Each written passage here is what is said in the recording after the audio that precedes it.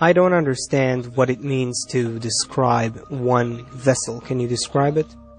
Desires that unite for a spiritual purpose. What is one kli, one vessel? Where if, let's say, everyone has a glass of water, then they pour their glasses into one joint barrel until there is no difference between mine, yours, his, and so on.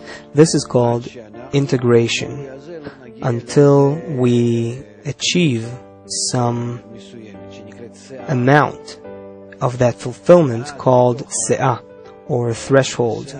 And then beyond that threshold, we will begin to feel life.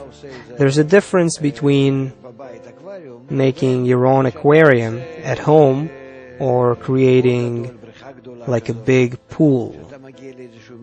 When it reaches a certain dimension that is big enough, that thing starts to have its own life.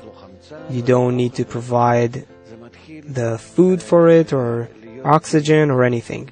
It becomes to naturally live.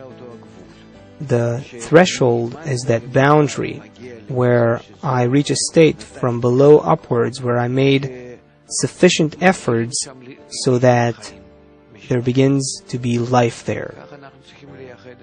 That's how we should unite our desires.